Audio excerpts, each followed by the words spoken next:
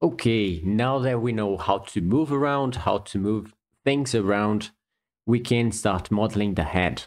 But before that, we need to understand a little bit about what's the difference of edit mode and object mode. So, in object mode, the one that we are at the moment, we are able to move objects around. We are able to select objects, we move objects, we scale them, but we are not able to do some transforms in parts of the model. So that's, that's not possible in object mode. And also all the transformations that we do, they are going to be relative to this little orange dot in most of the cases in the center of the mesh. This is called the origin.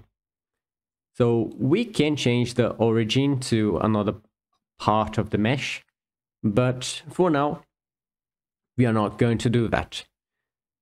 So if we want to change parts of the of the mesh, if we want to make some transforms in a single part of the mesh, we need to go to the edit mode. So we are going to click here and go to edit mode.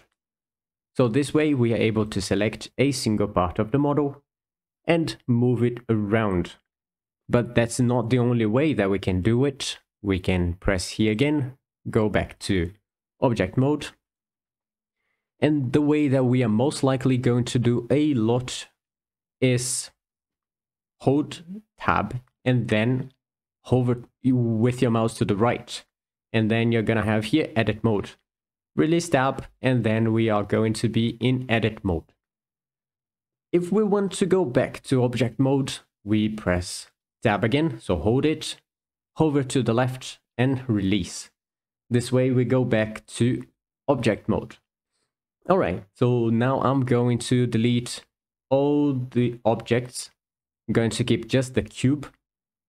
So select the first one, shift select the last one, press X, and then they are deleted. All right, now I'm going to get this one back to the origin. So I'm going to press Alt G, Alt R, Alt S. Just in case if I made any transformations on it. Now it is back to original. Okay, so this one is going to be uh, basically what we are going to use to start modeling our robot. But to do that, we need to go to edit mode.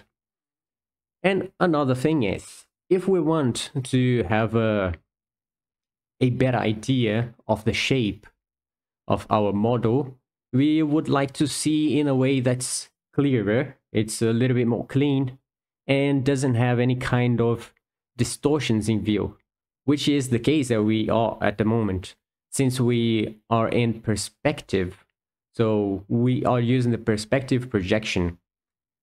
Things that are further away from the camera look smaller. So it makes this kind of distortion on the model. If we want to, to model it in a way that's easier for us to compare two parts of the same object, we would need to change it to another projection mode, which is the orthographic to do that, we are going to press number 5 on the numpad. So pressing number 5, we can toggle perspective and orthographic view. As you can see, if we are in perspective, the cube looks a little bit more distorted. If we press 5 again, we see that it's a little bit more even, let's say. And another way that we can use to toggle between perspec perspective and orthographic views is by clicking right here. So we click it, click again, and we go to perspective and orthographic view. All right, so to model things, we are going to use the orthographic view. So I'm gonna press the numpad 5 and another thing that we are going to use here a lot is snapping the camera to the view, to the closest view. To do that, I'm going to rotate, so while rotating the camera, I press Alt. And then it snaps to the, the current, to the closest view, let's say. So we see here front orthographic view. So if I rotate it like this and press Alt, it's going to snap to the top orthographic view. So rotating again, snap. Now to the right orthographic view. We can do the same using the uh, the numpad numbers. So for example, if I want to see the the right, the right side of the model, I can press number 3 on the numpad. If I want to see the front of an object, I can press number 1. And if I want to see the top, I can press number 7. This way we, we can see right, front and top. So we still need to see the, the opposites of these. And to do that, we are going to press the same buttons, but this time while holding control. So to see the left, we control 3.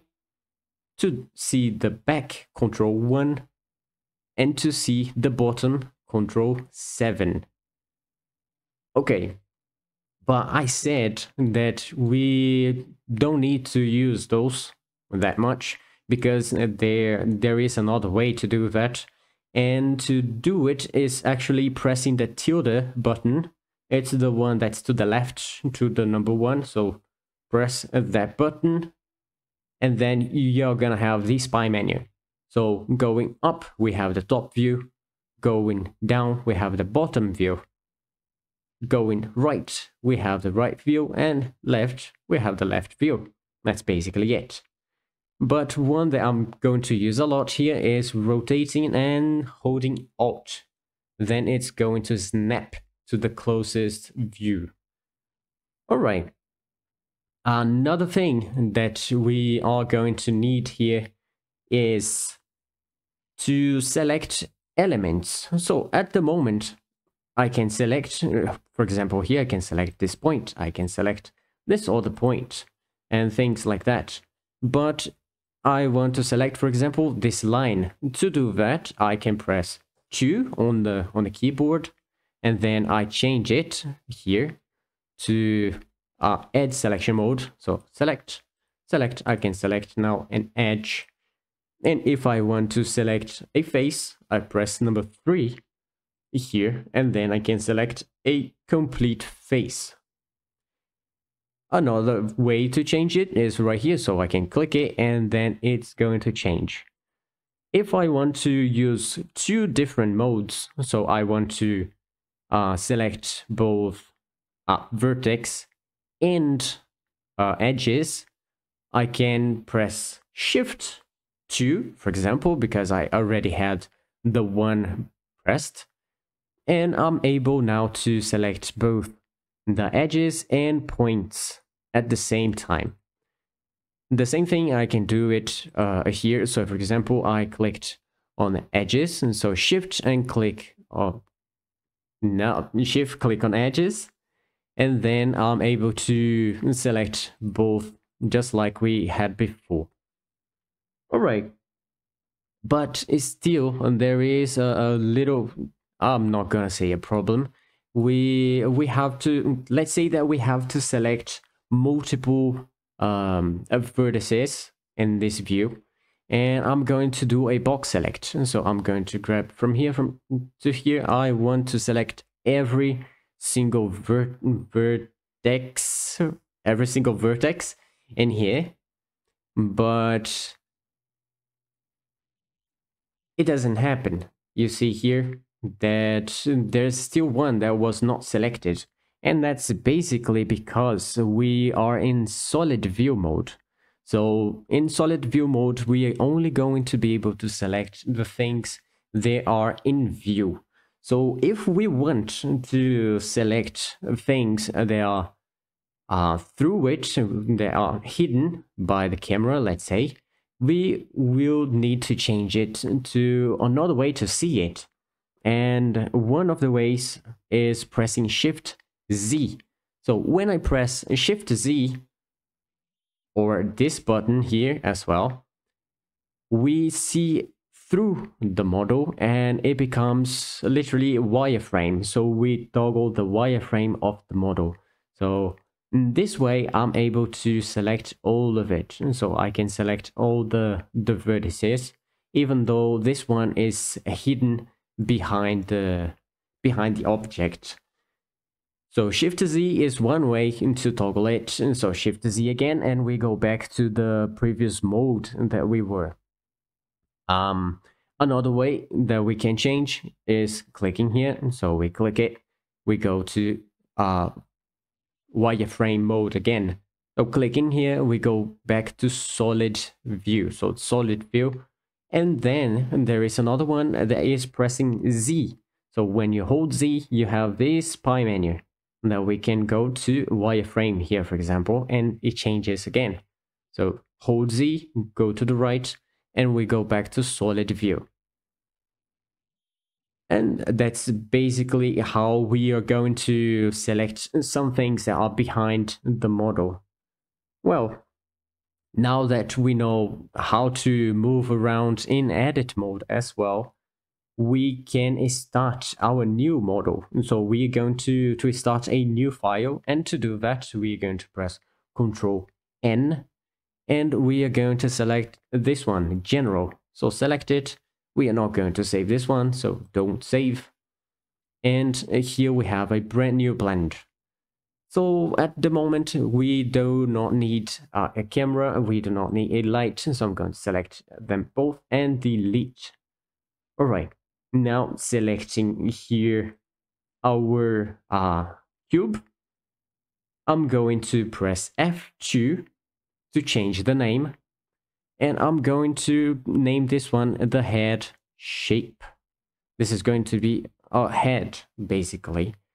And here in the outliner, we see some collections that we can use to organize our scene. And that's exactly what we are going to do.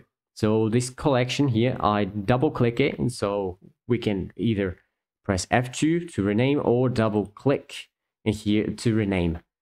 I'm going to change the name of this collection here to head objects. Why? Because we are going to have multiple objects to represent the head. This head, we are going to have uh, the actual head, so the actual head shape. We are going to have the, the cameras, and they are going to be the eyes.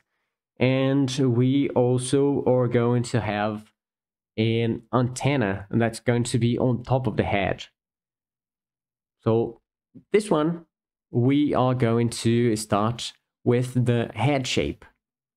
Okay, so first of all, we need to go to edit mode. And I want this head to be right here on the floor. I want it to be sitting on the floor. And to do it, I will need to move it up by one meter. How do I know this? Basically because, let me change here to uh, orthographic view. Basically because uh, the origin is in the middle, so it's in the exact center of this cube.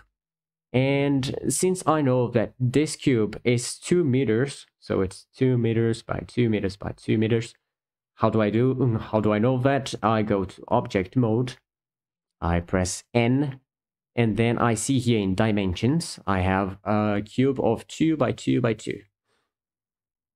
Right, so I'm going to press tab again, enter edit mode.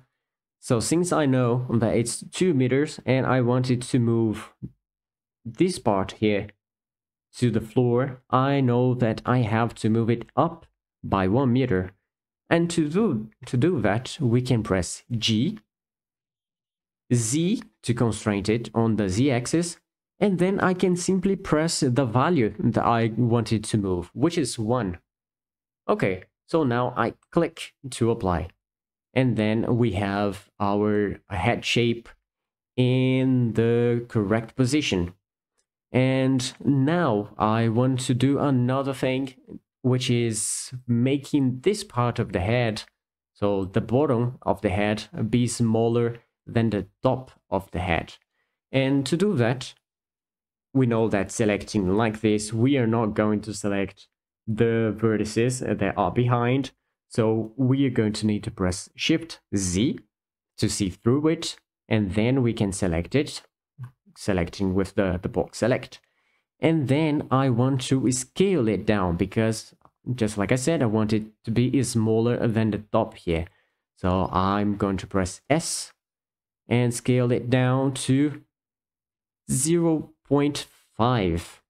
So this scale works basically like a multiplier. If you multiply it by 2, it's going to grow by 2. If multiply it by 0.5, it means that you are having the, the size of that thing. Okay, so 0.5, uh, that is. So I'm going to press to confirm. And then we already have the shape of the head. That's basically it. So I'm going to press Shift Z again, and then we go back to object mode. All right, now in object mode, here again, I rotate, hold Alt, and then I snap to the view. Okay, so we are on the front orthographic view. That's nice. So now we are going to create the eyes of this model. And to create the eyes of this model, we are going to use a cylinder. So going to press Shift A in object mode. Don't forget about that. And we are going to look for cylinder here. So mesh cylinder and click it. And I am going to change here. So we see this little panel. We open it. This one is the last operator. So here we can make some modifications on the last action that we did. And in this one, I want this eye to be 16 vertices only. And I also want to make the radius be half, so 0 0.5. And the depth, I also want it to be 0 0.5. Okay, so this way we can already see that it's quite big. So yeah, not very good, but still, let's change the name of this guy here. It's at the uh, at the moment it's called cylinder. I'm going to double click it, and this is going to be the eyes. So now that we have it selected, so select it, I'm going to edit mode again, and I'm going to press Shift Z to see through it Alright, I wanted to have two eyes. So at the moment, this here is fairly big. It, it's not going to, to hold two eyes of this size. So we're going to need to make it smaller. I'm going to press S. I'm going to scale it down to something like uh, 0 0.4, no, 0 0.3. Okay, so 0 0.3 and also I want it to be around here on the head. So I'm going to move it with G. So pressing G, move it to where I want it. You can place it wherever you want. This is your robot, so don't be afraid to make any modifications. And I'm also going to rotate it. So uh, since I want the eye to be looking that way, I'm going to press here, so in the front again, or x90. And then we have an eye that's looking to us. And when we rotate the camera, we see that it's still in the middle of the robot. So I'm going to move it to here. So let's press G and Y because we, we can see here the, the y-axis is in this direction. So G, Y, and move it out. So I want it to be around here. So I don't I don't want this part of the of the eye to be going outside of the head, nor this part to be going inside of the head. So we have to be careful with that. And all right. So this is basically how the the eye is. I think I'm going to scale it up just a little bit. So uh, yeah, something like this and should be good. All right. Now, one thing that we need to do is I don't want to have to change or to remake this eye and place it to the other side. Then we have an option to do that. We can do something that makes it fairly easy to uh, mirror things, and that's the keyword mirror. We are going to add a mirror modifier. So we are going to this wrench here, so this blue wrench, going to click it, add modifier, and then I'm going to look for mirror. So when I click it, we see that uh, now we have a eye to the other side of the head as well. If by any chance you don't have that, you can click on this eye drop and then click on the head shape. And it's going to use the head shape as the pivot point of your mirror. And this way, you're most likely going to have the same uh, result that we have here.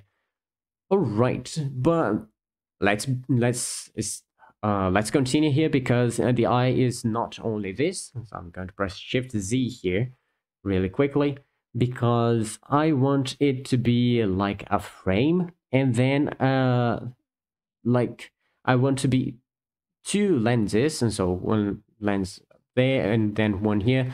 And to do that I will need to make a little change in this face right here. So I pressed 3 to go to face select mode or you can click here and then I selected this face right here so with this face selected, I'm going to press I. So I to inset. When I press it and move the, the mouse around, we can see that it creates a set of faces and then it shrinks and grows like this according to your mouse position. So this here is basically going to be the the thickness of our frame and also the the size of the, uh, of the lens. I'm going to click here to accept. And that's basically a good i'd say that's a good thickness for the frame of the of the camera let's say. But still if we look at the the other model the the mirrored version of it we still have it pretty flat. So it doesn't show any difference and that's because there is uh, there isn't any difference we still need to make it go inside a little bit. And to do that, we are going to press E for extrude and then slide the mouse in like this. So this way, now we have something that we can use as our lens. All right, but still we have a little bit of a problem, which is this face here has just too many vertices. So if I press 1, we see that it has 1, 2, 3. If we count, this is going to be 16 because when we created the cylinder, it was 16 vertices. And that's exactly what we have here. So 16 vertices for a single face. Usually, we want the faces to be at a maximum of 4 vertices and a minimum of 3 because less than 3 is not possible. And with four, we have a quad. With three, we have a trace, basically. And those are the, the usual, the usual polygons that we use when modeling. So to keep that in mind and also to make this here uh, be um, kind of standard, let's say, we are going to select this face here. So press 3 or select it from here. Select the face that's inside right here. And then I'm going to press I to inset again. And I'm going to click anywhere. So we just needed this here to, to create this set of faces. Because now we can simply press the letter M at our keyboard and choose this option here at center. When we click it, nice. Now we only have triangles uh, composing this set of faces. But still, now we fixed this part of, of the of the camera, but we still have this part of the camera. So shift Z again to go uh, through wireframe mode. And then we are need we are going to need to select this face here. To make things a little bit easier to select, let's go to local view. So the local view, to enter local view, we are going to press the slash. So the slash button. So this one. Pressing the slash button, we are going to enter local view. We can also toggle local view by going to view and then uh, if I am not mistaken, uh, let's see, view, local view right here. So local view, toggle local view. That's it. If we click it, and we go out of local view. But using slash, you go in local view. Nice. So now it's easier for us to just select this face here. And then we can delete this face because it's hidden inside the model. So people are not going to be seeing it anyway. So I'm going to press X and then choose faces and then it's going to delete only the faces. Alright, now that we've made the changes that we need to in the eye, in this case in, in local view, we press the slash again to go out of local view. And then we are going to need to do a just another thing here, just to make this a little bit uh, better, a little bit more rounded, because at the, at the moment it's too pointy we are going to add some bevel to these frames, so to the, the camera frame. And to do it, we are going to press 2, or we can select it from here. And here we see that it completes a loop. So these lines, they complete a loop. We are going to select all these loop here. We could select one of the of the lines and then shift select another one shift select another one, shift select another one. That's possible, we can do that, but it's too slow. What if we had, let's say, uh, 300 lines here, 300 edges, we would have to select one by one, so that wouldn't be uh, very smart. So there is a shortcut in Blender to do that.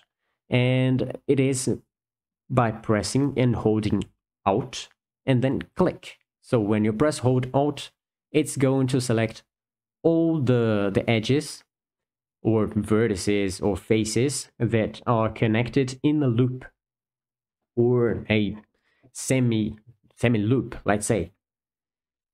But since we have a loop here, it selected all the loop. If you don't, uh, if you can't use Alt because you're emulating the three mouse button, you have to double click. So when you double click, you're going to select the loop. So uh, here, since we are not emulating it, we are going to press Alt, click.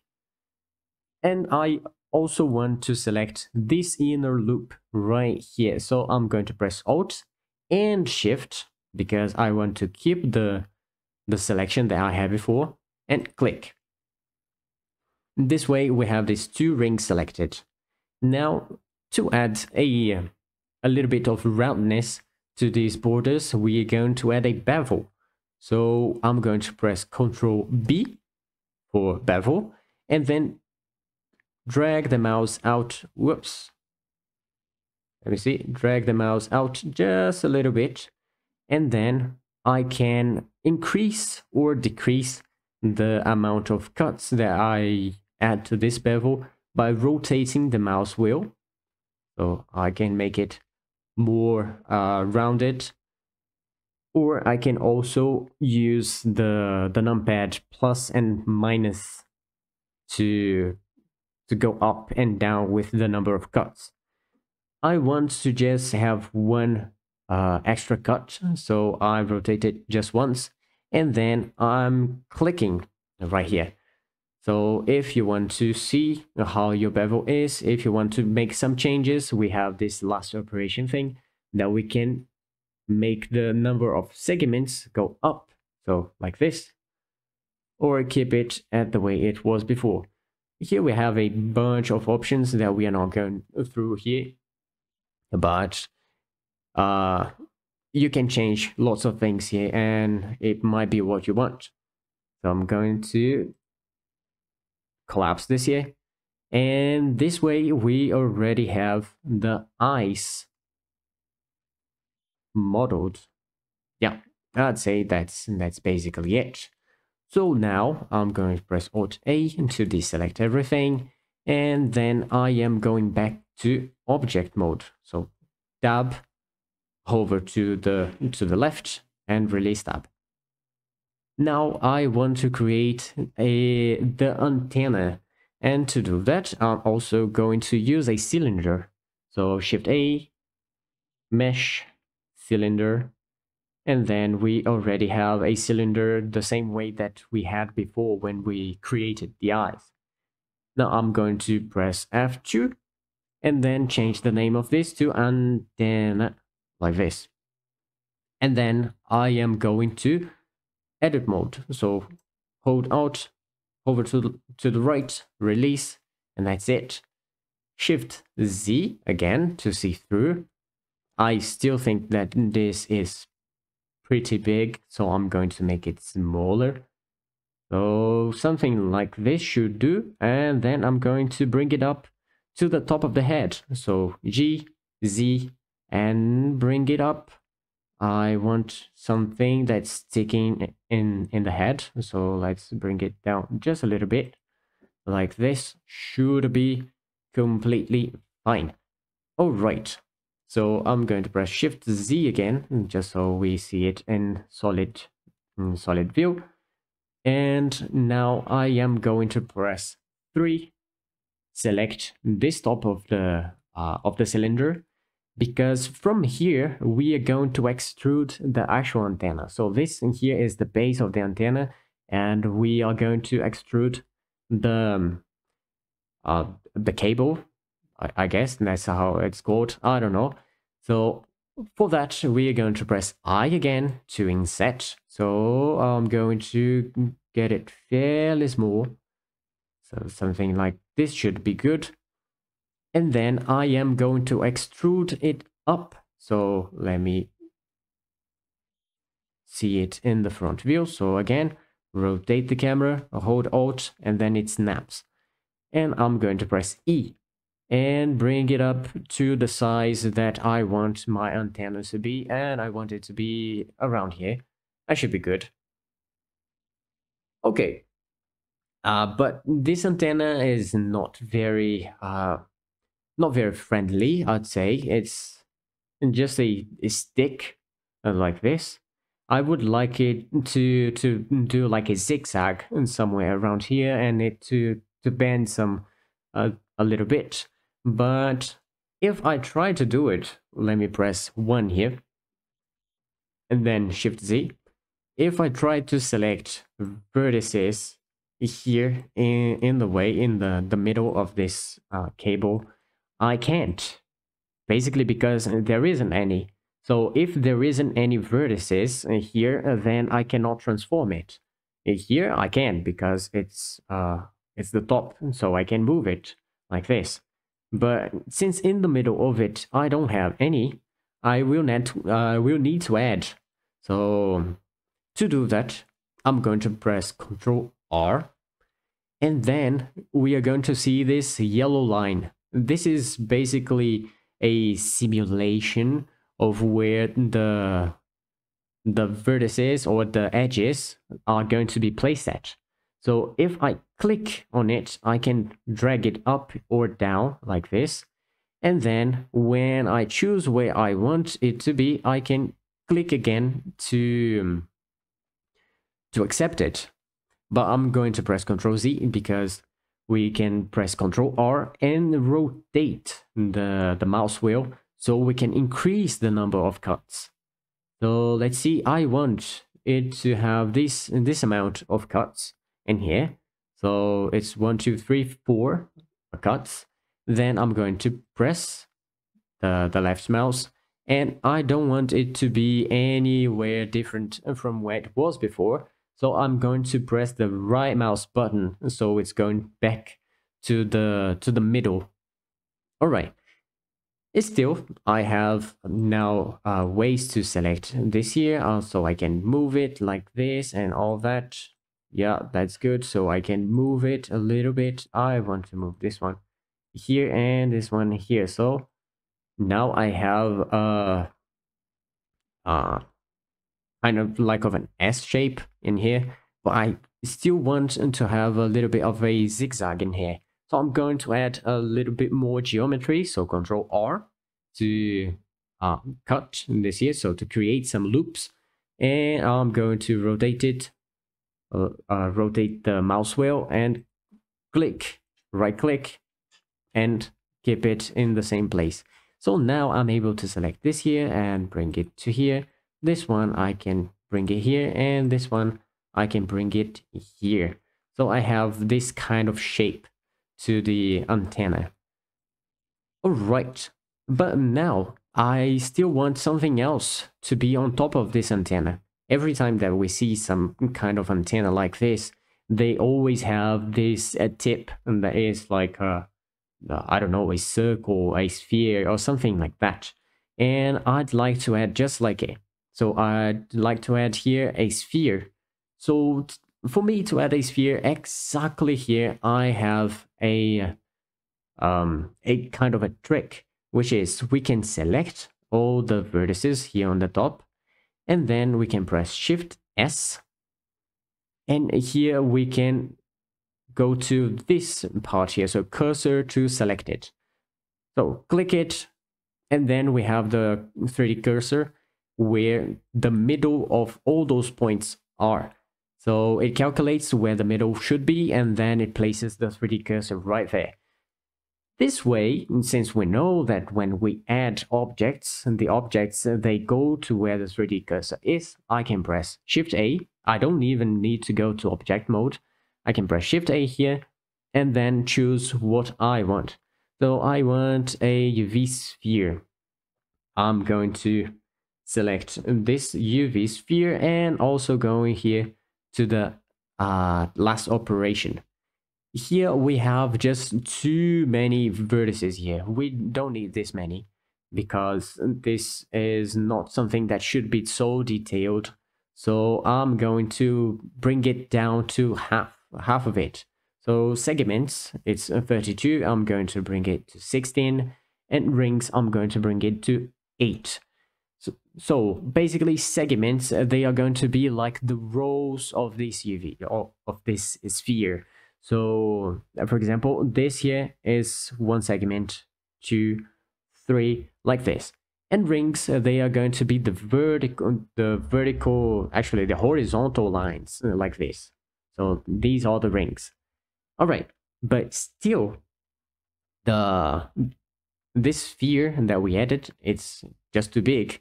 So we can change the size of it from here, or we can simply come here and press S to scale it down. And I'm going to keep it like this. It should be good. Yep, and that's it.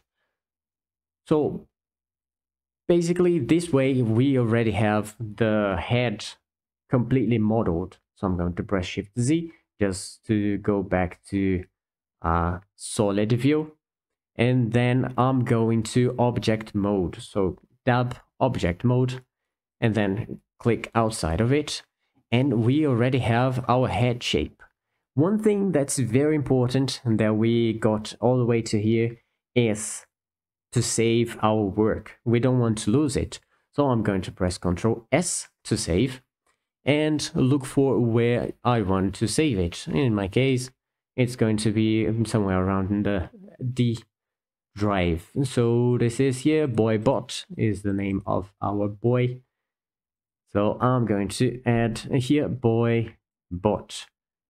And I'm going to add underline 01 because we are going to make multiple versions of it. So I'm going to press enter and then save the model. So now we finished the head and we are going to the arms modeling next. So I will see you in the next one.